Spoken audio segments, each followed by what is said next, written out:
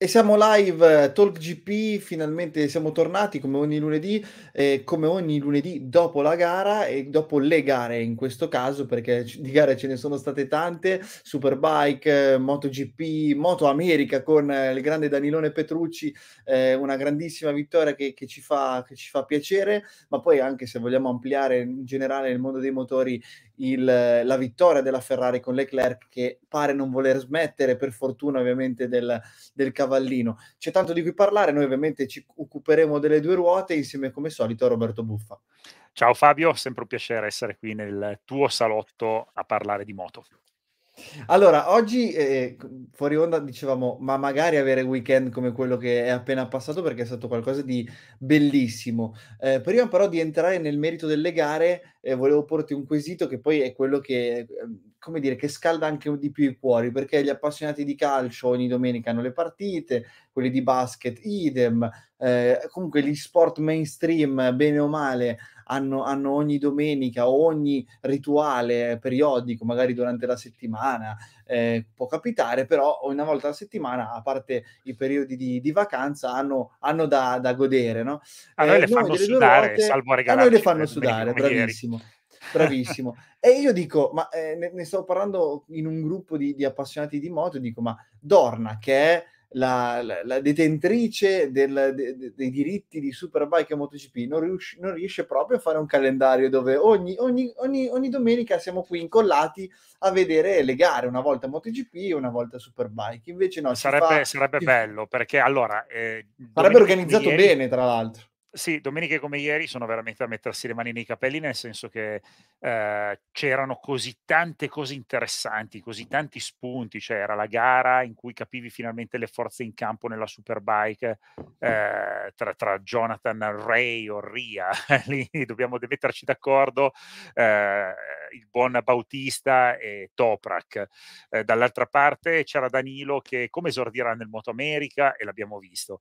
E poi c'era la MotoGP, Marquez che torna sulla pista che gli è favorevole, la, Duca- eh, la Ducati, scusami, la Ferrari che parte in pole position in Australia. Cioè era un concentrato di emozioni e di cose che mamma mia, cosa guardo prima? Cosa, cioè, cosa, cosa, mi fa emozionare di più? Effettivamente dal mattino alla sera è stato un non stop, una full immersion di sport ad altissimi livelli che ci ha regalato delle emozioni grandissime. Ti dico, la mia compagna non mi sopportava più perché tra gare di moto, Formula 1, poi la sera io sono milanista, la sera della domenica c'era il Milan che purtroppo ha pareggiato col Torino, ma c'era anche quello, quindi e almeno sul sì, calcio mi, me, me, la risparmio, voglio dire, sono, nel senso che mi ricavo un po' di tempo per fare altro. Adesso che sono appassionato di padel, c'era anche il World Padel Tour questa domenica, quindi è, è un casino. Adesso che... Eh beh, ti, compli, adesso... ti, complichi anche la vita. Mi complico la vita, hai ragione, hai ragione. Potevo cercarmi una passione sola, invece mi piace, mi piace vedere più cose, ma come dire, a livello di due, di due ruote, questa domenica, come dicevamo... È stata ehm, è stata eccezionale. Si è aperta, facciamo così subito, una panoramica sulla Superbike, dove di solito ne parliamo molto poco. Io direi facciamo una no, bella io, parentesi. Io sono un, de- devo fare un fiume in piena eh, sulla Superbike. Ah, allora, dico io così, eh, come dire, svisceriamo l- il tema Superbike e poi andiamo subito sui prototipi e, e ci lanciamo su, su, su, quel mondo. Anche perché poi Superbike è iniziato prima, perché già il sabato si inizia a, a tarellare. E che dire, se dovevamo capire quali erano le forze in campo tra la Ducati di Bautista, eh, la Kawasaki di Jonathan Ray, anch'io preferisco dire Ria, ma ormai dicono tutti Ray, quindi adeguiamoci, Jonathan Ray, eh, con la Kawasaki che da lato dovrebbe anzi è, è, incattivito perché lo scorso anno ha perso il mondiale eh, vinto appunto da Toprak eh, Razkatioglu che è la terza forza o la prima ma l'ho nominata per terza in, in Sera Yamaha direi che questo weekend non è che ci ha proprio chiarito le idee, perché tutti, ogni volta erano loro tre, gara 1, Super Polo Race, gara 2, certo con diverse gerarchie, eh, la Ducati Bautista fanno paura, la Kawasaki è lì, però Toprak eh, ha comunque guidato benissimo. Cito anche il secondo Ducatista che è Rinaldi, che comunque ha fatto la sua eh, ottima figura e credo che possa essere un compagno di squadra m- molto interessante anche in termini mondiali, perché poi se la Ducati vorrà imporre forzatamente un gioco di squadra, eh, eh la Ducati a quello che, che, vediamo dopo Aragon ha un compagno di squadra che viaggia eh, insieme a Bautista, mentre gli altri due arrancano un po'. Vai Roberto. Allora, su Rinaldi io sono un pochettino tiepido, nel senso che l'ho visto disputare belle gare in passato e poi pre- precipitare nell'anonimato più completo, quindi è ancora un po' presto per dire Rinaldi sarà o meno competitivo, sarà un uomo chiave in ottica campionato. Se fosse competitivo come lo è stato in, questo, in questa tappa di Aragon, sicuramente è uno che può togliere punti ad altri. Eh, l'ho visto teso, l'ho visto teso perché si rende conto che insomma è partito il campionato e sono già state, ci sono già delle gerarchie di fatto, ci sono, cioè, sono, sono già chiare le, le, gerarchie all'interno della squadra perché se hai un fenomeno come Bautista, e qui apro una parentesi, io non ho mai dubitato del talento di Alvaro, Alvaro secondo me è un grandissimo pilota e l'aveva dimostrato anche certo. in MotoGP. Uh, è veramente un bravissimo pilota. Uh, il fatto che non, non, abbia fatto risultato con la Honda, voglio ricordare che non, non, i risultati non li faceva neanche Jonathan Ray, che si spaccava e basta con la Honda, e si è spaccato per anni prima di abbandonare quel catorcio, che, che era più catorcio anche di quella che c'è adesso, eh, e finalmente andare su una moto competitiva e vincersi cinque campionati di fila. Per cui eh, ehm, il discorso è, senza una moto competitiva anche il più bravo dei piloti non combina nulla.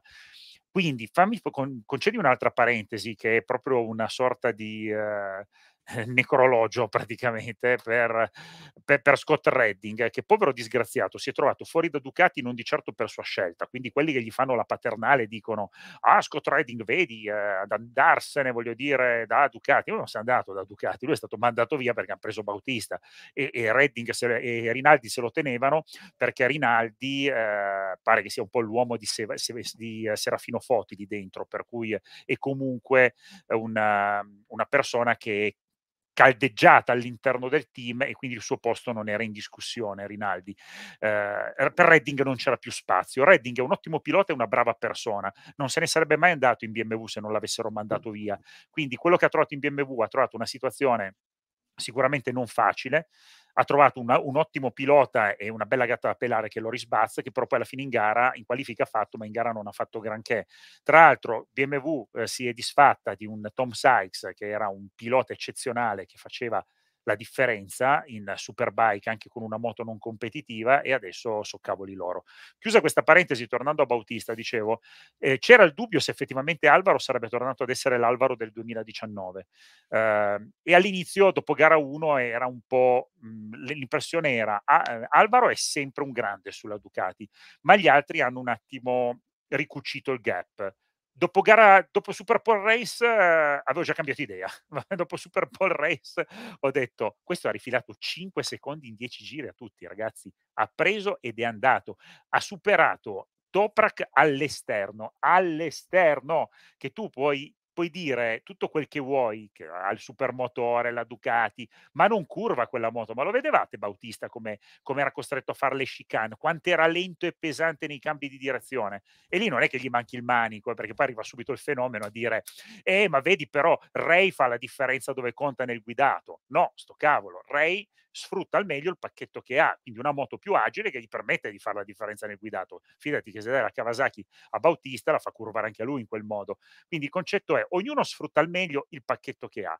Ray è un grandissimo pilota, ma Alvaro è nato per la V4, cioè non penso che ci sia nessuno al mondo che possa andare più forte di lui su quella moto, perché lui e quella moto sono in simbiosi perfetta vuoi per le dimensioni, la statura mignon, lui è super aerodinamico, la fa andare come un missile, nessuno gli sta dietro. Cioè, neanche Rinaldi gli teneva la scia, perché, e non è che gli danno la moto più veloce, è che tutto funziona per far sì che quel pacchetto sia al top. E Bautista ha detto una cosa importante, ha detto la moto del 2019 era una moto velocissima, ma era una moto poco sincera, quando ti mollava, ti mollava senza preavviso. Questa la trovo moto, una moto sincera. C'è da dire anche una seconda cosa. Il Bautista del 2019 era un Bautista appena approdato in Superbike che non conosceva tante piste che, erano del mondiale, che sono del mondiale Superbike. Quindi, per esempio, a Imola si è trovato a girare per la prima volta e lì è iniziato il disastro del 2019 dopo che aveva accumulato quel, quel vantaggio enorme. Adesso c'è un Bautista che ha che si è fatto le ossa e se le ha anche spaccate per due anni sulla Honda, ma intanto ha conosciuto le piste, ha sofferto, quest'anno io lo vedo veramente fortissimo e il modo in cui ha vinto in gara 2 era il Bautista del 2019, eh, Fabio. In tutta Sì, questa sì. cosa, quello che io ho trovato come anello più debole del, della, del trittico è un, un, allora, un Ray sicuramente arrabbiato, che ha voglia di vincere, che ha voglia di riscatto, ma con una moto che secondo me è ancora un po' rispetto alla Ducati di Bautista, la Kawasaki del 2019, cioè che si prende sempre sul dritto della gran paga, quindi lì farà sempre fatica. Toprak ha patito tanto Bautista, cioè quel Toprak battagliero che, nel, che l'anno scorso non concedeva una curva eh, a Ray, si è veramente arreso a Bautista, si è fatto infilare all'interno, si è fatto infilare all'esterno, ha preso e anche quando ce l'aveva lì che poteva attaccarlo, effettivamente non è mai stato in gara, non è mai stato della partita. Spero di ritrovare Toprak, il Toprak che ho apprezzato nel 2021 nel corso delle prossime tappe, ma fino ad adesso io ho visto un Bautista strepitoso, manico vero. Cioè, di sminuirlo dicendo che la moto che, eh, che gli concede quello vuol dire non aver visto gli ultimi campionati, onestamente, perché gli altri con quella moto non, non, hanno fatto quello che fa lui, ecco. E quindi alla fine bisogna concedere, date, date ad Alvaro quel che è di Alvaro. Assolutamente, e leggiamo velocissimamente la classifica con Alvaro Bautista che ha 57 punti davanti, davanti a tutti, ma Jonathan Ray è subito dietro a 54 punti, poi c'è invece Toprak Raskatioglu leggermente spostato di, di 18 punti da, da persi, Bautista. Eh. Sì, sì, sì, e a 39 e Rinaldi che invece è praticamente attaccato a, a Razcatioglu.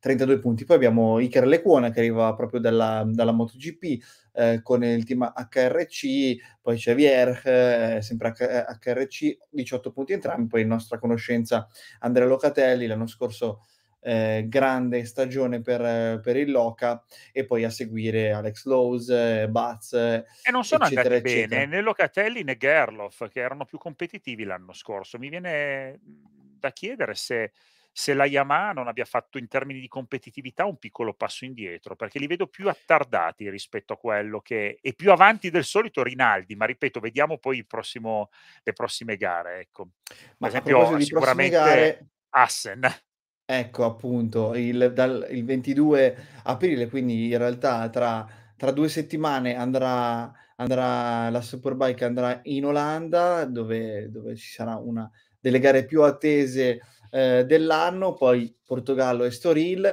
poi si si viene in Italia il 10 e il 12 giugno, ehm, e poi partono un po' secondo me già queste gare qui, ehm, in Olanda, poi il il round italiano, mhmm, anche secondo me le, le piste di sia quella francese che, che, Repubblica Ceca sono con così tante curve ehm, strizzano un po' l'occhio alla Yamaha che, che come sappiamo ha meno motore eccetera. e anche, la e anche la Kawasaki direi certo. Però io ho letto delle, delle dichiarazioni di Bautista che dice questa Ducati ha fatto un'evoluzione della, de, della miseria in questi due anni, anzi in questi tre anni, incredibile vederla così competitiva e occhio perché secondo me non è eh, così difficile vedere un Bautista, magari non dico davanti a tutti, ma super competitivo e agguerrito anche in, su circuiti eh, che non sono propriamente adatti, se vogliamo dire così, allora, a, a 2019 al... Motul Dutch Round, gara 1 Bautista, gara 2 Bautista. Eh. Sì, sì, sì, cui, infatti Super stato... Paul, la Super Paul Race fece le prime 8 tappe, 7 tappe vincendo, cos'è stato? Un, un record incredibile. Eh, cadde, mi sembra, dopo aver infranto, infranto quel record lì, poi da quella caduta, da quella scivolata, Ray recuperò un sacco di punti e poi vabbè tra Bautista e Ducati c'era stato un po' uno screzio perché poi eh, non, praticamente non, non, ci fu più un, un grande campionato come, come, invece era iniziato e tutti si aspettavano potesse vincere Bautista quell'anno dopo un inizio così stravolgente è stato lì però molto bravo e con molta testa Ray a rimanere sempre attaccato sempre lì a fare, a fare podi e poi eh, Roberto, quando, quando, l'avversario sbaglia, Ray è sempre lì pronto a fare invece il risultato. Come, come Quella falco, grande, men- grande mentalità, esatto. L'anno, nel 2019 su Ducati Bautista aveva rifilato 3 secondi in gara 1 a Ray e 5 secondi a Vandermark in gara 2 che era arrivato davanti a Ray. Quindi insomma aveva fatto il vuoto come sempre. Io mi chiedo, ma, ehm, visto che prima citavi un potenzialmente una un una poca innovazione da parte di Yamaha, uhm, nello sviluppo del della nuova moto per Toprak, ehm, Mh. pensi che, mhmm, le cose tra MotoGP e Superbike, così mi do il gancio anche per poi andare a parlare del motomondiale, ehm, siano distaccate i dipartimenti o pensi che comunque lo sviluppo in casa in casa Yamaha, s sia stato abbastanza lento, ehm, e, mhmm, un po' statico rispetto alle altre case? Ma, ehm, allora, io penso che i dipartimenti siano siano distaccati. Quello che però so è che, ehm, una bella parte, una bella fetta dello sviluppo delle Superbike mondiali di Yamaha, ehm, viene portato avanti in Italia. Quindi ci lavorano preparatori italiani, quindi c'è un ehm, all all'interno proprio di di di Yamaha Belgarda e di quello che è il team il team che c'è c'è italiano, comunque, ha un ruolo cruciale, ecco, nella preparazione delle moto di Toprak e dell'Oka. Ehm, poi certo devono arrivare anche pezzi dal Giappone e tutto il resto, perché Esatto. non è che puoi fare puoi metterti a fare tutta la preparazione lì in locale. Però non mi ricordo chi è che aveva realizzato questo questo servizio, forse è stato Max Temporali che aveva parlato, è stato alla presentazione del team Yamaha Superbike, forse l'ha condotta lui, e diceva la il team Yamaha, cioè dietro a Yamaha, che è questa immagine di un marchio gigantesco mondiale, in realtà c'è nell'ambito Superbike una realtà locale, un qualcosa di molto più piccolo che ha il suo baricentro in Italia e quindi raccontava di come sia una famiglia proprio questa Yamaha, non sia un ehm, diciamo un una una multinazionale, ma quella che si occupa della Superbike una quasi una famiglia. Però questo secondo me si si va a schiantare con quello che dall'altra parte è lo squadrone della morte Ducati, perché invece Ducati investe pesantemente di brutto e e ed è ben più che Aruba, cioè lì dietro c'è proprio il supporto ufficiale, ci mette mano sul progetto anche Gigi Dall'Igna, perché questa moto qui deve andare e deve vincere il mondiale. E Però ti infatti chiedo Roberto, ti chiedo, Mh. dopo, ehm, la vittoria, ehm, in in Superbike da parte di Toprak e la vittoria in MotoGP da parte di Fabio, ehm, non ci si aspettava forse degli investimenti maggiori, visto appunto, ehm, i risultati positivi? Cioè invece di che sviluppare si sono un po', sugli fermati allori, godendo sì. esattamente? Che si sia ho avuto la sensazione che si siano un po' seduti sugli allori effettivamente, ehm, anche perché è vero che da una parte è complicato, se vinci tutto dire: "Stravolgo la formula", no, squadra che vince non si cambia. E per loro è stata effettivamente la maledizione Fabio. Io credo che l'aver vinto così tanto l'anno scorso, li abbia messi in difficoltà perché dici: "E adesso cosa faccio? Faccio non faccio una moto nuova, non faccio un progetto nuovo come costretta a fare Honda che non ha vinto un tubo, no, ehm, mi tengo quello che ho, faccio giusto dei piccoli aggiustamenti, sia mai che sconvolgo quel delicato equilibrio che permette a Fabio di dominare, a Toprak di vincere". E invece il problema è che gli altri hanno fatto dei passi in avanti e questi passi in avanti se se erano nella cioè anzi questi queste evoluzioni, questi questi cambiamenti se erano nella direzione giusta, sono serviti a creare un gap che oggi in pista si paga. Io ho avuto l'impressione che Toprak fosse al limite, molto più che in passato e anche un un po' un po' sulle uova, cioè non non osava e non rischiava. Mi sembrava un Toprak arrendevole. Non parliamo poi di Fabio in MotoGP, Fabio in MotoGP ha ha oggettivamente una moto pesantemente non competitiva. Infatti se vai a vedere gli altri compagni di marca dove sono, veramente ve veramente pazzesco. Tra l'altro pure lì mi viene sempre da sorridere pensando che mi pare che in MotoGP abbia più punti Darryn Binder di quanti ne ha Dovizioso, che lo sfotteva e diceva che che lui era pericoloso e non doveva essere ammesso in partenza in MotoGP, gli sta dando la paga, quindi con una moto dell'anno prima. Quindi però sai che No, non ho no, certo. particolare non ho particolare simpatia per Dovizioso proprio perché si è sempre lasciato andare a delle uscite arroganti, a delle a delle uscite dove insomma sembrava che fosse lui il fenomeno e gli altri tutti scarsi, a partire da Lorenzo, e poi si è visto insomma che qual era il suo vero valore. Stavo pensando anche che, a anche 2 anni fa nel mondo delle derivate ha vinto Locatelli ha vinto con Yamaha, quindi a anche lì Yamaha si si è domandata: "Ma per quale motivo, ehm, do dovrei cambiare" a anche l'anno che ha vinto Mir, ehm, comunque la Yamaha è arrivata seconda con Morbidelli. Cioè ci sono state una conseguenza di risultati inaspettati positivi per Yamaha che hanno portato sbadatamente e erroneamente a pensare alla casa dei dei 3 diapason: "Ma sì, siamo a posto". E Ma sì, va bene invece va bene va tutto bene va così, e esa esatto. e invece, ehm, bastava veramente poco per accorgersi che in realtà non andava bene niente. Io Ma passerei io a MotoGP no se se aspetta, no no gua aggiungi sì, sì, prego. no, non sono non sono d'accordo perché c'è ancora una cosa da dire, perché tra i tanti spunti di questo weekend, ce ne stavamo dimenticando, c'era pure il debutto del Balda e di Bulega in Supersport. A Grande attenzione, Balda tra l'altro, grande attenzione. Balda, Allora Balda grande Balda. Balda in gara 1 su Egerter ha fatto una cosa che non hai il video lì vero da vedere. Clamorosa. Eh. Clamorosa. Cioè praticamente ragazzi, per chi non l'avesse seguito, non avesse avuto la possibilità di se la seguirlo, Baldassarri ultima curva e in testa, chiude, cerca proprio di portare alla corda per chiudere la traiettoria Egerter, che chiaramente cercava di infilarlo all'interno proprio nel curvone parabolico che porta sul traguardo, ma ha chiuso troppo e gli ha chiuso l'anteriore. Quindi lui si è trovato con un salvataggio alla Marquez, l'anteriore era andato, ginocchio a terra e gomito a terra per cercare di tenere su la moto e l'altra gamba in verticale in alto. Eh, Egerter ha pensato bene di andargli all'esterno per superarlo, e ed è stato ed è diventato una sponda del della carambola, no, per cui lui si è appoggiato su Egerter, ma involontariamente, infatti non ha subito nessuna penalità, che l'ha tenuto su, quindi lui la curva l'ha fatta, Egerter è andato fuori. È stata una vittoria clamorosa, clamorosa veramente. Meritavano entrambi allo stesso modo. Però quello che volevo dire non è solo il debutto del Balda, che poi ha fatto secondo in gara 2, quindi lui Egerter, che è il campione in carica, se la gioca, no, e ha fatto comunque un debutto competitivo. Ma più che altro direi che è già chiaro che la Ducati Panigale V2, che doveva dominare la categoria, avevano detto: "No, col vantaggio di cilindrata, hanno fatto il regolamento apposta per far vincere Ducati, sarà un dominio assoluto", e invece 'sta Ducati così competitiva non mi pare, perché la Panigale V2 di Bulega ha fatto un quinto posto in gara 1 e un podio in gara 2 dove ci sono state cadute però davanti.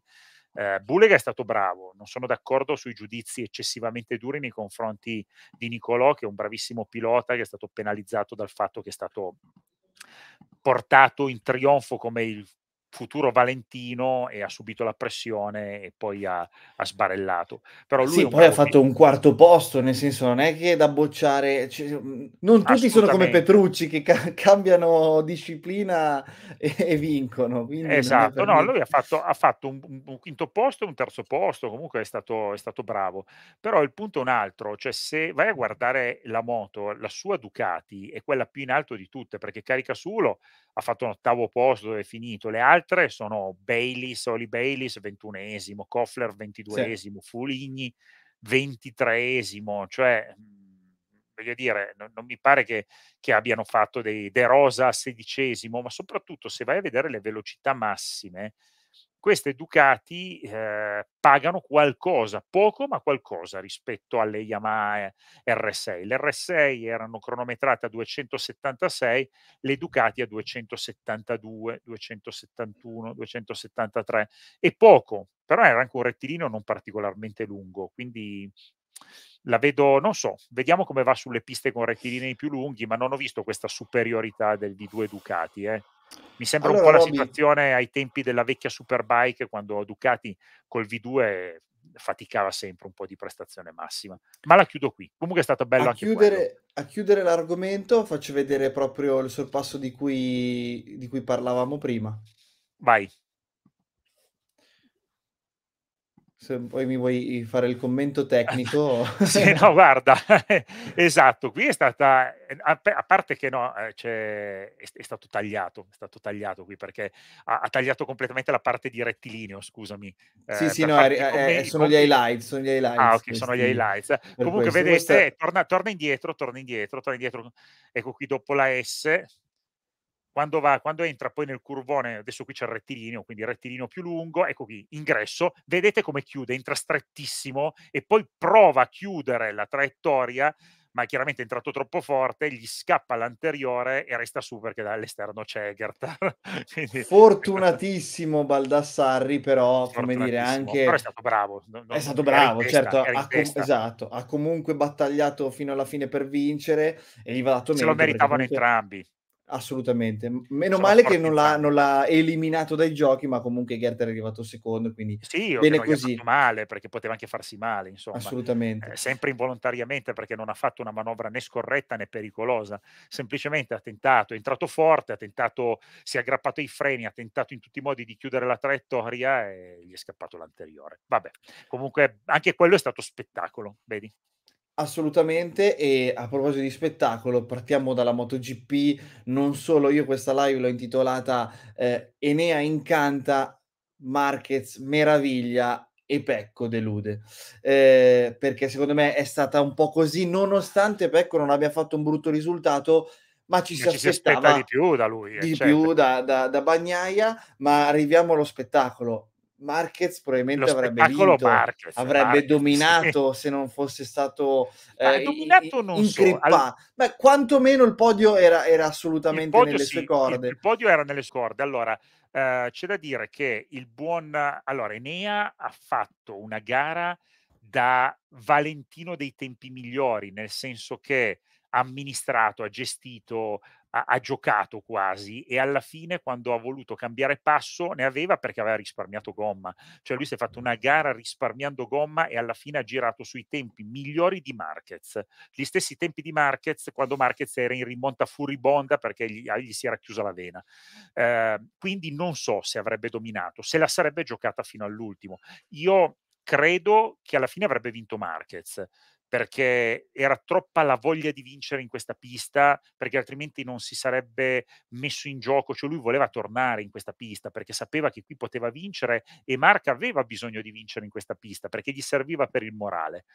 Ehm, invece ultimamente gli va tutto storto, quindi lui sta pagando un debito karmico, chiamiamolo così, ma ma non per voglio dire, pe per come qualcuno crede, per per per i battibecchi con Valentino o per il mondiale il mondiale quello quello, ehm, come posso dire, maledetto, il decimo maledetto mondiale di Valentino, dove è chiaro ed evidente, solo uno intellettualmente disonesto potrebbe sostenere che Márquez non ci avesse messo lo zampino. È chiaro che Márquez quel mondiale non voleva farglielo vincere e non gliel'ha fatto vincere, ha interferito in tutti i modi, questa è la verità. Detto questo, il debito karmico di Márquez in realtà è con la sorte, perché Márquez è sempre andato fortissimo, vuoi perché ha un talento smisurato e questo solo uno altrettanto disonesto intellettualmente potrebbe negarglielo, dall'altra parte però è perché ha anche sempre preso rischi superiori a tutti gli altri. Cioè Márquez è uno che, l'abbiamo detto quante volte, fin dal debutto nel mondiale ha sempre rischiato oltre ogni misura, oltre il lecito, oltre o oltre la soglia, oltre il limite, ben oltre il limite. Infatti, ehm, non smetterò mai di ricordare quanto la sua carriera potesse già terminare il primo anno al Mugello, con quella caduta spaventosa in fondo al rettilineo dove sarebbe bastato un angolo un po' diverso invece di correre parallelamente al guardrail ci si andava a schiantare a 360 all'ora e il buon Marc Márquez, ahimè, sarebbe finito lì. Quindi fortunatamente gli è andata bene, però è chiaro che se prendi sempre rischi, no non può andarti sempre bene. Ultimamente gli sta andando tutto male. Io ero lì con le dita incrociate a sperare che non gli succedesse niente, perché anche in questa gara che rischi ha preso in questa rimonta? Era il Márquez fuori di sé di He di Jerez 2019 prima di infortunarsi, no, era quel Márquez. Era quel Márquez che superava tutti come se fossero dei birilli: "Scansatevi, proprio il videogioco, via, via, via di qua." Ha superato Espargaró con gli ha dato un secondo dopo 3 curve, cioè alla fine eran tutti: "Levatevi, levatevi dalle scatole perché passo io." Ed era e finché non ha finito le gomme poi alla fine, ma anche quando aveva finito le gomme andava come un matto. Il dubbio che mi viene è, ehm, Fabio, secondo te alla fine quando Quartararo, ehm, gli stava dietro e anzi se l'è giocata con lui, è perché Márquez aveva finito completamente le gomme o perché aveva finito le energie?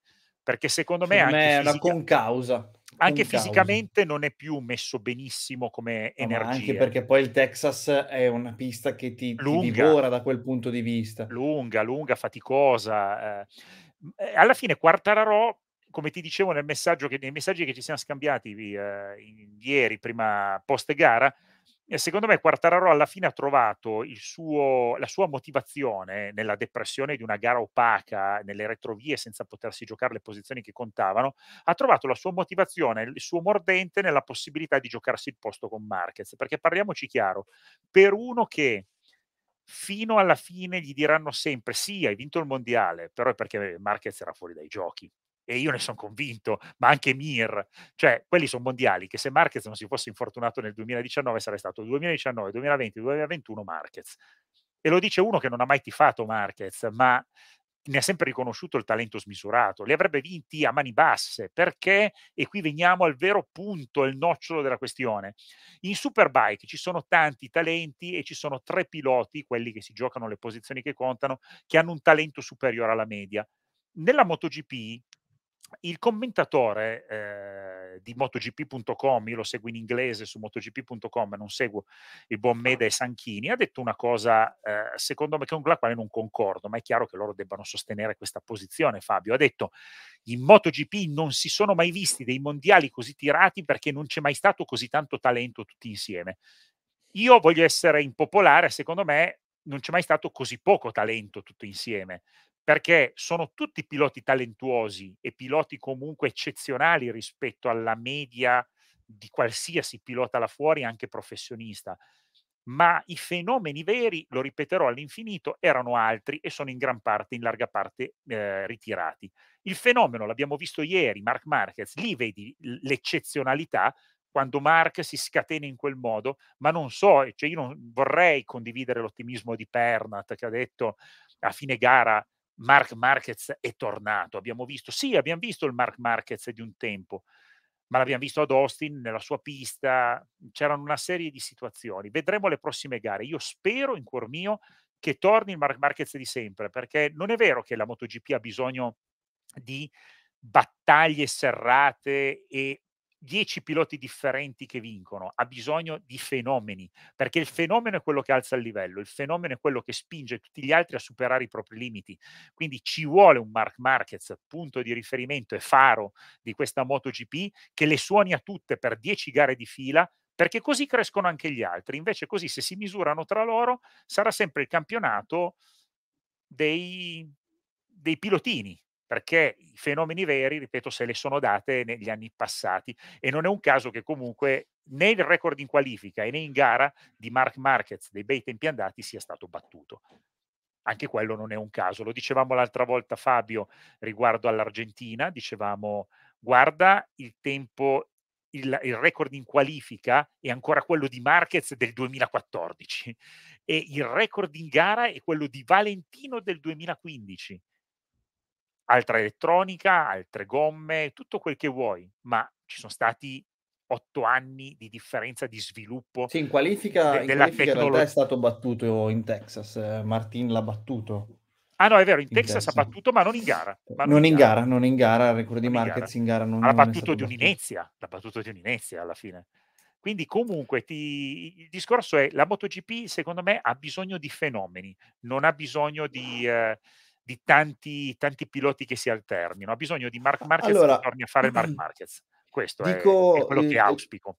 Prima di dire la mia, su, sul Texas leggo la classifica dopo questa gara, l'ultima prima di entrare in Europa per 12 gare e poi ritrovarci eh, in Asia. Ci sono state le quattro gare eh, extraeuropee, Qatar, Indonesia, Argentina, Texas questa è la classifica del, del, del campionato extraeuropeo, diciamo così, della MotoGP che Bastianini, l'unico pilota in queste quattro gare a riuscire a vincere più di una, ha vinto in Qatar al debutto e l'ultima in Texas, 61 punti. Rins, come dicevo, la Suzuki col pacchetto che ha piloti, moto, sta migliorando ed è sempre lì eh, sempre lì con entrambi i piloti. È vero, non ha ancora vinto, però sta portando a casa risultati molto buoni, molto positivi e chissà quando arriverà in Europa in piste più gradite sia Rins che Amir, secondo me può fare molto bene. Ricordo che però Rins aveva vinto in Texas eh, nell'unico anno in cui prima di quest'anno Mark, Marquez non aveva vinto, cioè la volta dove,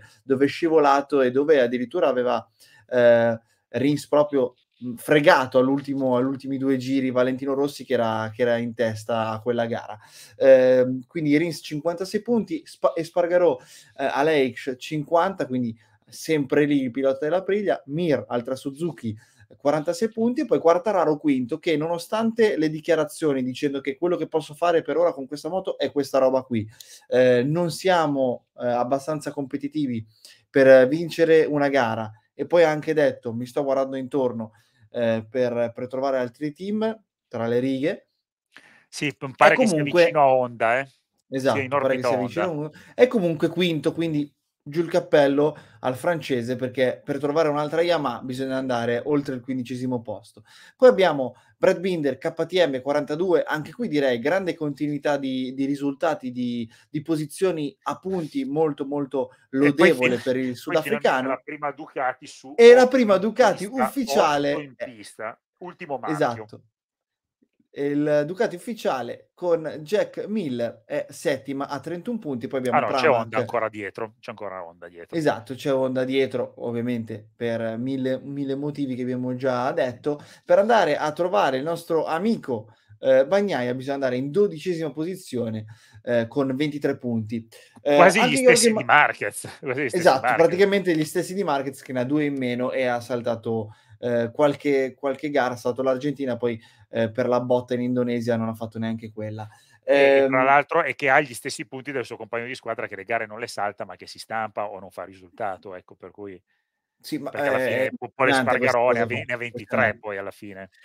No, mi mi Infatti mi stona anche vedere un Jorge Martin che io avevo avevo pronosticato, nonostante la pole, avevo pronosticato non non sarebbe poi in gara riuscito a fare a replicare l'ottimo l'ottimo risultato in pole position, perché avevo visto, avevo intuito un po' che non aveva un grande passo gara rispetto a Bastianini, rispetto ma mi aspettavo anche un Bagnaia in realtà con un passo gara migliore e mi sono sbagliato.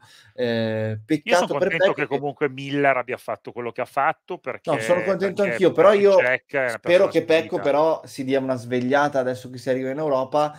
Ehm, adesso non Secondo te non c'è più la scusante dei test, scu scusami Roby, eh, non c'è più la la scusante de delle grandi componenti che deve provare, ehm, Bastianini deve solo guidare la moto e mettere la benzina e guidare la moto, queste dichiarazioni un po' alla Dovizioso, permettimi, ma visto che prima hai Sì. citato che che Mh-mh. spesso ha detto delle cose Fuori fuori luogo, luogo. ecco Pecco secondo me sta replicando nella maniera sbagliata, ehm, delle delle cose che ha fatto in passato il Dovi. Ehm, ma Miller le ha dimostrato che la Ducati là avanti, ehm, o o meglio lì vicino al podio si può portare, e e che ha fatto una gara sicuramente più interessante di quella del del piemontese, ecco. Ehm, chiudo e poi, ehm, ti lascio la parola e poi passiamo a Moto2 e Moto3.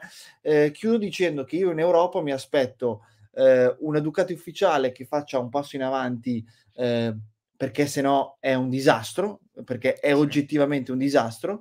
Mi aspetto una Honda che metta un po' in riga anche Pole Espargaró, perché non è possibile che bisogna sempre appoggiarsi su Marc Marquez, anche quando la moto non è fatta per Marc Marquez, perché Marc l'ha detto in tutti in tutte le salse: "Questa non è la mia moto, questa non è la moto fatta su misura per me".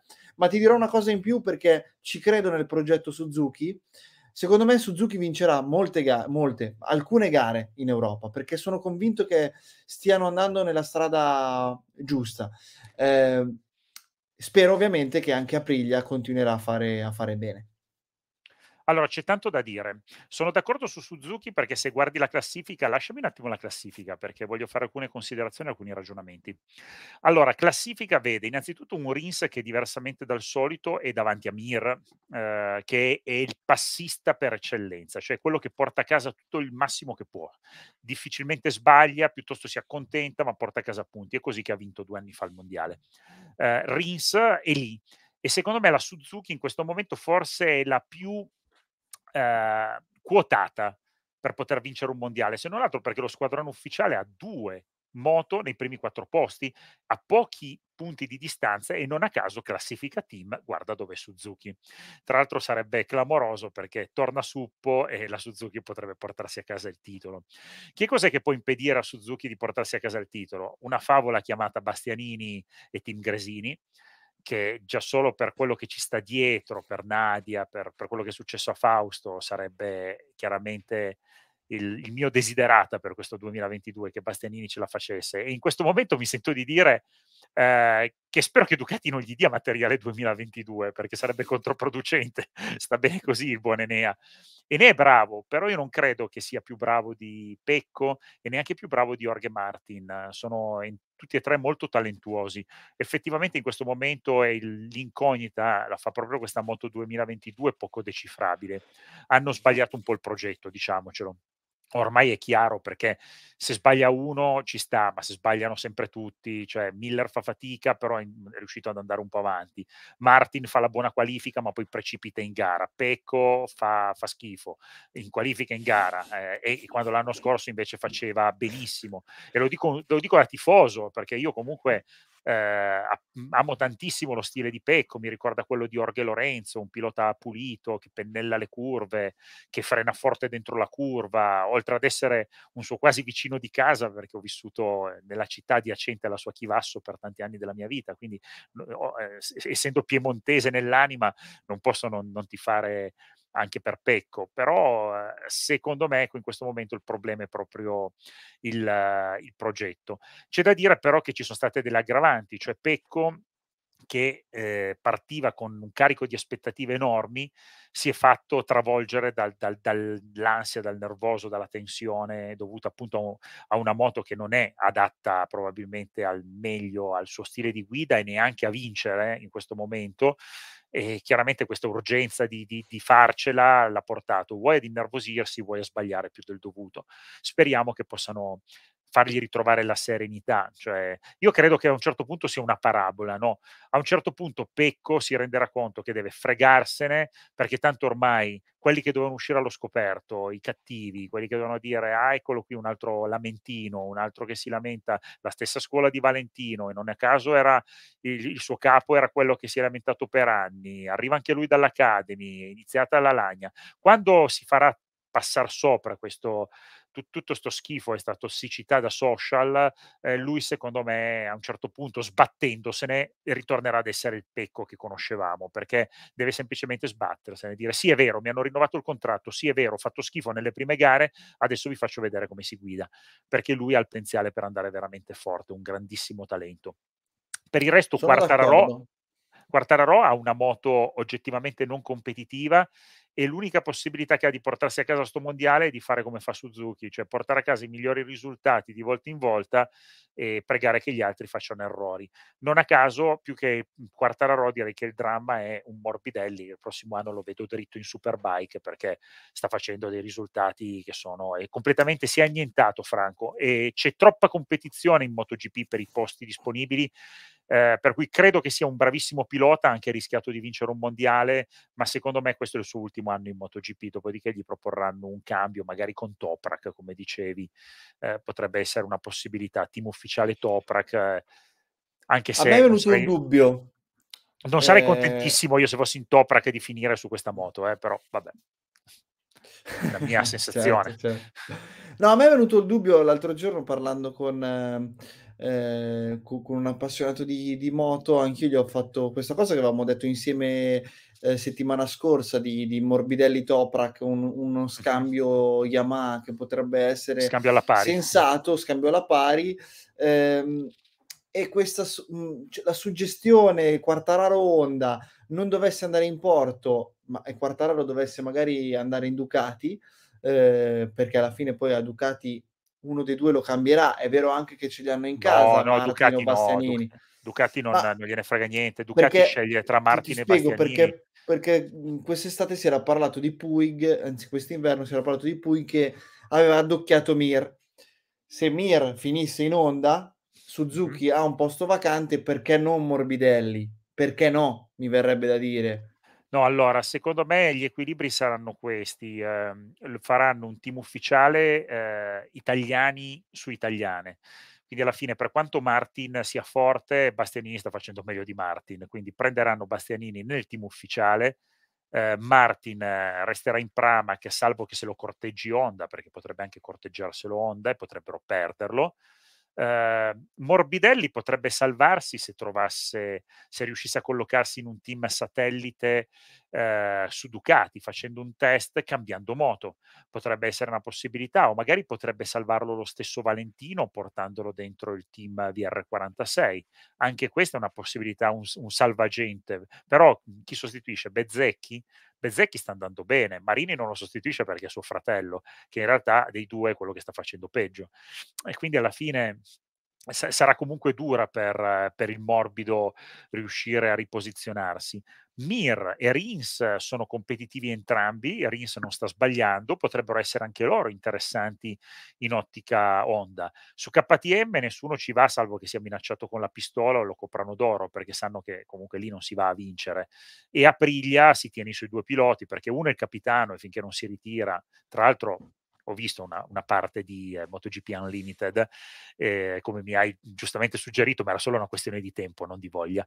Eh, quindi dicevo, ma Aprilia, grande riconoscenza nei confronti di Aleix, ci mancherebbe. Ti sta e Vignales? Sì, e, Vi- e Vignales, sì, mi sta piacendo. Mi ha fatto scoprire un aspetto della personalità di Miller che me lo fa apprezzare ancora di più. Infatti io spero che Jack trovi comunque una collocazione. Lui sicuramente verrà sostituito, ma lui è uno che voglio che resti nel circo della MotoGP No, perché bra- magari Pramac umanamente magari, eh. eh sì, perché stavo dicendo una cosa, quello che vedo in difficoltà e che mi ha deluso tanto in questi anni è Zarco.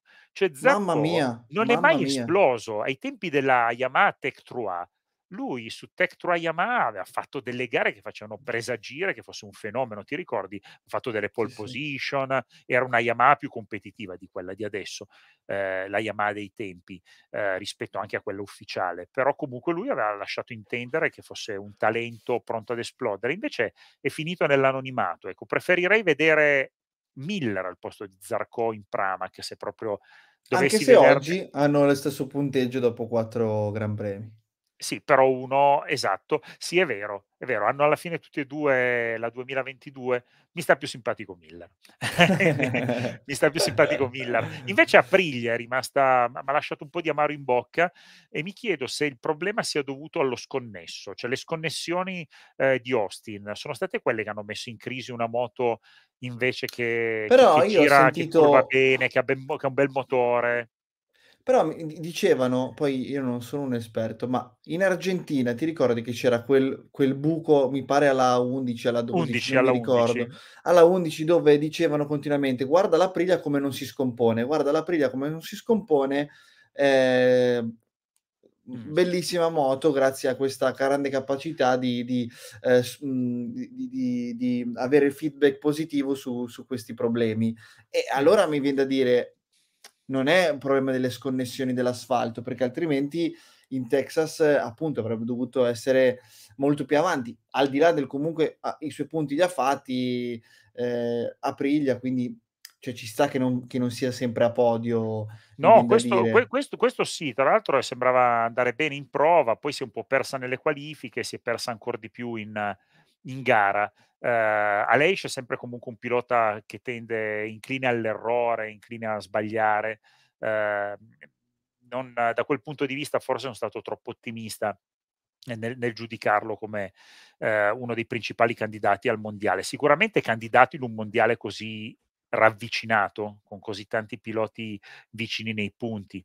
Salvo che adesso di punto in bianco non si riprenda Marquez e allora, mhmm, 30 punti, quelli che ha Guarda, quello 40 che ho scritto io 40 ho da recuperare li li li È una recupera in una ma manciata di gare, eh. quello esattamente quello che ho scritto io, ho scritto un pezzo t a cavallo tra l'Argentina e il Texas, appena saputo che che Marquez sarebbe partito per l'America e ho detto: "In un campionato così equilibrato, il ritorno di Marc Marquez, ehm, no non fa altro che donare un campionato così equilibrato, dona la chance a Marquez che parte praticamente con 4 gare di ritardo sui suoi ehm, avversari e dà la possibilità al 93 di vincere un altro campionato, L'ha ehm, detto anche. Quartararo, anche Fabio ha Certo. detto f mhmm, Marquez ha tutte le chance ancora di vincere di vincere questo questo mondiale. Ma senti, domanda da $1.000.000: è stato poi chiarito che cosa è successo in partenza a Marc Marquez? Perché da quello che so io no, ehm, da quello che hanno detto, ma non l'ha detto Honda, p pare un problema al mhmm, Al launch control. ehm esatto, bravissimo. Allora, perché? Perché io ho sentito anche Allora, questa gara me la son vista su Now TV grazie ad un amico, ehm, non l'ho vista su MotoGP.com di quell'abbonamento perché è venuto a trovarmi un amico, ha detto: "Guardiamocela in italiano che lui ha delle difficoltà con l'inglese." Ho detto: "Va bene." Era un po' che non sentivo Meda e Sanchini, sentiamo un po' i discorsi che fanno. Allora, innanzitutto a parte il fatto che 'sti 2 si sono addormentati in partenza, perché io avevo subito visto Marquez dove è finito, è stato risucchiato nelle retrovie, se ne sono resi conto dopo un minuto cosa di cosa era successo. Ma hanno addirittura detto una cosa che secondo me è una sciocchezza epocale, ma do modulato male la frizione in partenza. Ma cosa ha modulato male? Ma il launch control è l'elettronica che lavora lì, altrimenti la moto si ribalterebbe. Quindi loro inseriscono la mappa, di di di di di avvio, di partenza, gas a martello, lasci la frizione e lì lavora il launch control insieme al controllo di trazione. Invece la moto si è affossata, si è proprio ingolfata. Lui ha ripreso la frizione e ha sfrizionato perché la moto è andata completamente giù di giri. Vuol dire che il launch control non ha funzionato. Qualcuno ha ipotizzato, questo potrebbe essere un'ipotesi, ma mi sembra molto fantasiosa, che abbia inserito la mappa pit limiter invece di di launch control. Cioè, detto in soldoni, quella mappa che ti limita la velocità quando entri ai box per non incorrere in sanzioni. E quindi di fatto con quella mappa lì ha tagliato subito. Però è anche vero che se fosse entrata la pit limiter, lui in partenza si dava il giro. Cioè con la mappa pit limiter Diciamo che la battuta non ci ha visto arrivare bene 50 la all'ora, vai battuta 50 non ci ha visto giro. la battuta non ci ha visto bene, eh, qui calza a pennello, eh. Sì, Non ave non ha visto bene che pulsante schiacciare. Ma ascolta, ti faccio una domanda così a bruciapelo: Vai. secondo te co come talento, Rins o Mir? Perché io come talento puro preferisco Rins, ma sbaglia di secondo me più. Rins. Secondo me Rins ha più anch'io talento di sono Mir. d'accordo. Mir è un ripeto, non ha più avuto acuti, cioè non ho visto una gara dove sia stato incisivo ed è un campione del Più mondo, costanza, più costanza. Ma Rins è cattivo, cioè infatti Rins aveva sofferto tanto il mondiale vinto da Mir per sue perch perché insomma se lo sentiva un po' come se fosse Eh, ma poi se come in se tutti gli sport spesso vince chi sbaglia meno Chi si quindi trova chi si sbaglia meno, chi si trova al momento giusto, nel posto giusto Chia beh Rins aveva certo, certo, fatto certo. una serie di errori, ci sono stati un po' di ehm, però vabbè, insomma, sono 2 ottimi piloti, ma Rins Rins è più bravo, ecco. Me Rins Moto2, Moto2 vince Arbolino, Vietti la lancia, ehm Ma Canet, ma Canet, cosa Canet che si stava recuperando in una gara tutto il gap da Vietti e l'ha gettata via. E non parliamo poi di Beaubier, che Beaubier non solo si è fatto fregare da Dixon della stessa squadra, ma all'ultimo giro è riuscito pure a lanciarla via pure lui e quindi la pole position l'ha, ehm, come posso dire, concretizzata in 0, 0 secco. Poteva Adesso tenersi il suo quarto posto invece che a me piace anche Beaubier, poi mi piace vedere dei piloti americani sul tetto del mondo. Si pensava che Joe Roberts avrebbe fatto fuoco e fiamme negli anni scorsi, poi è precipitato anche lui nell'anonimato. Cioè Joe Roberts ha fatto mhmm, non esce dalla mediocrità, ehm ed eccolo lì, Canet che si poteva fare 59, 69, andava addirittura in testa al mondiale se vinceva, ehm, di qualche punto e invece è tornato lì.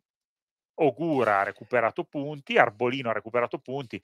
Per me Celestino resta ampiamente il principale candidato al titolo, però non deve fare cavolate come ha fatto questa volta, altrimenti va a perdere il titolo come l'ha perso Marini su Bastianini, no, che alla fine facendo cavolate nelle ultime gare, un titolo già vinto è riuscito a perderselo.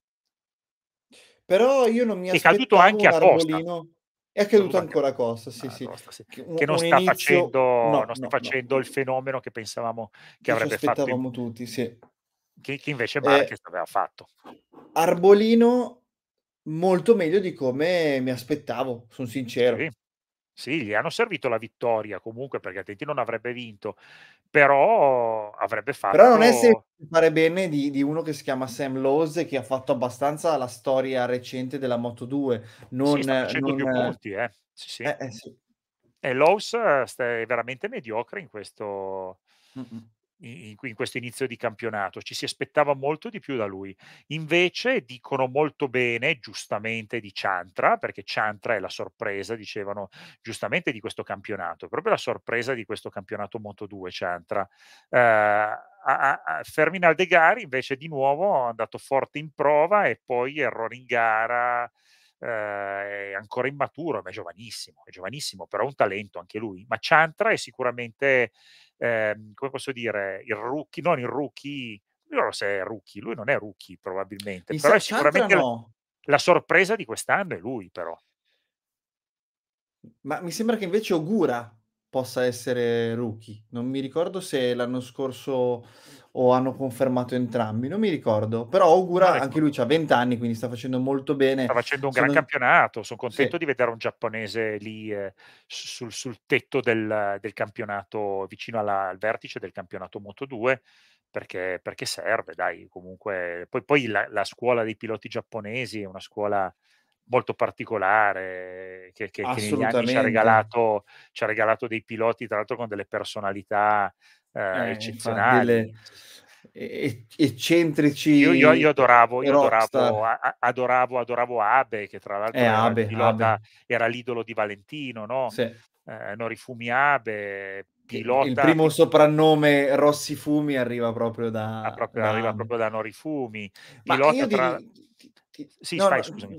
No, ti volevo volevo, mhmm, dire una cosa su sull'Italia perché, ehm, in questi giorni ho sentito ho letto giornali, visto telegiornali che celebravano giustamente Ducati, ehm, in in MotoGP, ehm, e Ferrari, ehm, prima in Formula 1 con Leclerc, ehm, E anche però Ducati dico in Superbike.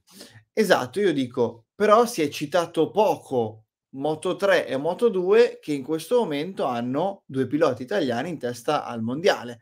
Cioè Sì, Fo Foggia non sta dominando perché esatto, se vogliamo commentare la Moto3, Foggia non sta dominando come ci saremmo aspettati, ehm, queste gare, cioè ci aspettavamo un dominio incontrastato di Foggia, una dimostrazione di superiorità disarmante che invece non c'è, però comunque sta cercando almeno un po' di concretezza e sta evitando di di fare troppe sciocchezze. Quindi da questo punto di vista devo dire che che Foggia comunque qualche soddisfazione ce la sta comunque dando. Sì, volevo, ecco, condividere la classifica mentre, ehm, ci ci scrivono intanto salutiamo Gigios. Ciao Gigios, chiedo scusa se avete già affrontato l'argomento. Che ne pensate della questione Ducati GP21, GP22? Guarda, parliamo un attimo della Moto3 e poi riprendiamo un attimo il discorso perché in effetti non abbiamo fatto una grossa u una parentesi evidente su sulla la Ducati di quest'anno, di quella dello scorso anno, se non parlando dei risultati. Moto3 Mh-mh. con Foggia davanti, come dicevi tu bene Roberto, non sta ampiamente dominando il campionato. È vero anche che va ricordato che in Qatar ha affrontato 2 long lap penalty, se no probabilmente avrebbe sic mhmm, Sì. quasi sicuramente centrato il podio se non vinto e sarebbe un pelo più avanti, però diciamo che ha un un certo margine che non è, ehm, enorme su su Garcia, ma soprattutto su Migno che ha comunque 33 punti che non sono di certo di certo pochi. Ehm, devo dire che però lo spagnolo della GasGas, a parte l'errore di questa domenica, sta tenendo un ottimo ritmo. Ehm, Sta sta Foggia non deve bene incappare in errori. Cioè quello Io che deve fare Foggia è quello che sta facendo, non incappare in errori. io tra l'altro ho un grosso dubbio, ehm, che non so se tu riuscirai a fugarmi, ma Foggia secondo te è un pilota che può far bene in altre categorie? Perché io non ho questa convinzione che Foggia possa, che ne so, scalare bene verso la Moto2 o oltre. Secondo me è un pilota che può fare bene in Moto3 fini finita lì. Cioè non lo vedo come un ehm, una Costa, Lo vedi lo vedi un che Dalla Porta tu, che per ora Lo sta vedo da eh sì, lo vedo un più un Dalla Porta, che tra l'altro condivide lo stesso lo stesso team, lo stesso percorso, ha vinto il mondiale proprio con Leopard e Lorenzo mhmm, era penultimo, terzultimo, comunque non è neanche l'anno del debutto in Moto2, anzi fra poco farà la fine di Baldassarri secondo me. Ti dico una cosa Roberto, che al Sì. netto di del di Mir che nel 2020 per delle, ehm, congiunzioni astrali vince il mondiale, nessun pilota del Leopard Moto3 poi ha fatto bene in altre categorie. Sì, è vero, ma anche perché si Kent, abitua Dalla Porta, Mir, che al netto di quella parentesi e vedremo Foggia. Anche perché si abituano ad avere una moto che è un missile rispetto alle altre e poi in Moto2 si trovano moto che sono tutte estremamente vicine, dove fare un sorpasso anche in scia è un casino, perché le moto hanno un livellamento delle prestazioni assurdo e in MotoGP è richiesta invece poi una guida completamente Ma ma diversa ma quindi hai dici una cosa secondo me sensatissima. Guarda invece chi ha vinto e fatto bene in Moto2, o Mh-mh. facciamo il caso, gu guarda un po', Morbidelli che ha lottato nelle derivate, Bagnaia che si è fatto un sederino così con la Mahindra, Con la Ma in Bastianini, Moto3 che aveva una moto cioè che era una una cioè carriola. Eh, a a è vero quello che dice, hanno vinto piloti che erano abituati a lottare e non abituati a prendere e partire. Prendere potrebbe essere una avevano potrebbe essere una risposta? rettilineo. Sì, sì, o a superare in rettilineo perché avevano 10 chilometri all'ora in più e la moto che gli altri non riuscivano neanche a prenderti la scia, che è sempre sempre stato così con la Honda Leopard Racing, per cui è sempre stata velocissima. Allora io direi chiudiamo questa questa nostra diretta di 1 ora Con rispondendo alla Petrux, domanda anche con ah Petrux no, eh beh, v perché beh, non possiamo giusto, è ve è menziona ve non no, menzionare l'abbiamo Danilo. menzionato all'inizio, poi ce ne siamo scordati. No, no, Allora facciamo così: menzionare. GP21, GP22, ehm, secondo me torneranno, come diceva prima Roberto, hanno capito, stanno capendo che il progetto è un po', ehm, inefficiente, ehm, Mh-mh. e quindi probabilmente si avvicineranno senza, ehm, involvere, quindi manterranno lo sviluppo quel che possono del GP21, della GP21, ma abbandoneranno, ehm, qualcosa della GP22 perché risultati del genere con 2 piloti ehm, Miller l'anno scorso ha vinto 2 gare, Bagnaia si è giocato il titolo fino all'ultimo, ehm, e Bastianini ti sta dicendo: "Guarda che la GP21 va veloce e funziona", e Ducati come come marchio non può proprio, ehm, non guardare in faccia questa realtà. Quindi secondo me cercheranno di tornare sui loro passi nel modo meno doloroso possibile.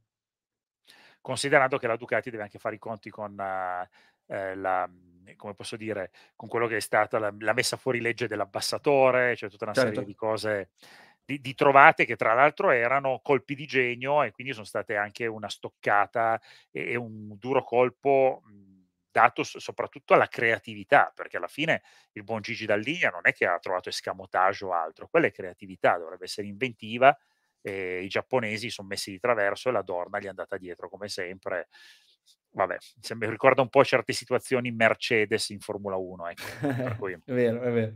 per noi però E e grazie al cielo che quest'anno invece Ferrari Ferrari si sta riprendendo le soddisfazioni che che che c'eravamo anche dimenticati che che cosa che cosa volesse dire avere una Ferrari così competitiva, e invece invece adesso fortunatamente anche lì tra l'altro, e poi la chiudo, non voglio andare su su, divagazioni, anche lì si vede come il pilota pur talentuoso senza la macchina competitiva non possa fare niente. Ehm, e, ehm, di contro come con la macchina competitiva, ehm, l'estro, il talento venga fuori, ma non trasformi un pi anzi forse la macchina competitiva fa è ancora più selettiva, perché finché la macchina non era competitiva c'era un appiattimento tra le performance di Sainz e di Leclerc. Guarda adesso invece con la macchina competitiva quanta paga Leclerc sta dando a Sainz. Si vede che il limite della vettura di prima, non competitiva, a abbassava il livello, smorzava il talento dei piloti, perché il limite della vettura era quello. Adesso che c'è una vettura che ha un livello altissimo e che permette al talento vero di far la differenza, ma quanto gli ha rifilato Leclerc a Sainz in questi in qualifica, e non parliamo in gara, l'altro che si schiantava mentre lottava nelle retrovie e lui che dominava la gara. Qu questo sempre per dire, sì, ehm, elettronica, sì, ehm, vettura, fortunatamente il talento del pilota conta. Dall'altra parte Hamilton se le sta prendendo da Russell, come io avevo previsto, però senza la vettura competitiva sono tutti e 2 dietro. Chiudiamo Chiusa? su Petrucci chiudiamo su Vai. Petrucci. È vero che era la pista che conosceva e quindi, come dire, forse c'era anche da questo punto di vista un po' un po' di sicu di certezza quantomeno di un risultato positivo, che vincesse non era scontato, come dire, ha fatto ha fatto un triplete magnifico, cioè ha vinto al Mugello, ha vinto una una run della della Dakar e oggi vince la tappa della prima gara, Dakar, della Moto America, che dire, un pilota fantastico che si diletta a fare più cose possibili No, ma e secondo secondo me me ci ci divertiremo. allora, ehm, Danilo con la sua semplicità, con la sua umiltà, qualcuno dice con quel con quell'aspetto, voglio dire, da da da operaio proletario che ce l'ha fatta, perché lui è veramente quello dalle dalle origini semplici dalle origini umili, non è mai stato quello, ehm, portato in trionfo, ehm, come posso dire, osannato come un campione. Eppure, nell'umiltà e con il lavoro duro si è costruito successi in ogni categoria, anche nella massima categoria. Lui può dire: "Io son stato vincente più volte in MotoGP", che se una mi puoi dire: "L'hai vinta magari di culo", non puoi vincerne più di una se, ehm, non sei un pilota, ehm, di alto livello. Tra l'altro lui ha vinto negli anni in cui c'erano i fenomeni in pista, non c'erano i pilotini, c'erano i fenomeni in pista. Quindi quelle vittorie se le meritate fino in fondo. Io stimo davvero Danilo perché si è trovato la sua dimensione e la sua dimensione è quella del pilota poliedrico e io ti dirò che il Danilo che sembrava fuori dai giochi, parcheggiato, dimenticato, con la Dakar, con questo coraggio fol- misto a follia di mettersi in gioco in una categoria completamente differente, si è guadagnato così tanti estimatori Danilo eh, che tornerà più forte di prima, ambito e desiderato in Superbike almeno. Ce lo vedo tornare in Superbike a livello mondiale eventualmente anche in un team a ruba, magari al posto di Rinaldi, che ripeto, secondo me non, non, può, no, non può fare più di tanto perché il suo livello è quello. Cioè, piccola parentesi, tornando su Rinaldi, gara 2, Bautista andava non a passeggio, ma andava a ritmo gara. Rinaldi nei primi giri, tipo 5-6 giri, gli è stato dietro, era di traverso ad ogni curva rischiando l'osso del collo, disintegrava le gomme. Finiti quei 5-6 giri, Rinaldi gomme finite, ha detto ciao, è finito dietro. Bautista ha proseguito con quel ritmo, quel passo da lì fino alla fine e ha rifilato gran secondi a tutti. Quello è Rinaldi, cioè arriva fin lì. Petrucci potrebbe far meglio. Talk GP si dimostra un po' come la vita, cioè ciclico. Abbiamo parlato all'inizio puntata della Superbike e ci siamo ritornati. Chissà che magari, appunto, come dicevi tu, Petrucci poi possa andare in Ducati, ce lo vedo bene anch'io, su una bella Panigale, a dare manforte a Bautista o a giocarsi assolutamente il titolo del mondo. Noi ci rivediamo sicuramente tra qualche settimana, quindi lunedì prossimo. Roberto, prenditi pure eh, gli impegni che vuoi, perché ovviamente ci passeranno 15 giorni prima della prossima gara, quindi magari ci ci vedremo il lunedì prima eh, del Gran Premio e poi quello successivo. Ora vediamo, lo organizzeremo, ma comunque sui social di TalkGP eh, ve lo faremo sapere. Ti ringrazio Roby, grazie a chi grazie ci ha seguito. Di... Grazie, però aspetta, mi è venuta in mente una cosa, un'ultima considerazione. Prima hai detto di Petrucci eh, che ha vinto in, al debutto in Moto America ed effettivamente non era una cosa scontata. Vorrei ricordare, ti ricordi l'esperimento che ha fatto Miller che ha detto mi vado a fare una gara della Superbike australiana? E gliele hanno suonate. Quindi gli specialisti di queste categorie, non è scontato che tu dici sono pilota MotoGP, vado lì e eh, vinco. Mm, Petrucci ci è andato con la moto competitiva, Miller c'era andato con un team di secondo piano, ha detto vado a divertirmi, se, se le fatte suonare dal, da, dal, dal, padrone di casa, per cui eh, bravo due volte Danilo che è andato preparato, ha fatto il compitino bene e alla fine le ha suonate anche in gara 2 a Gagne, come si chiama?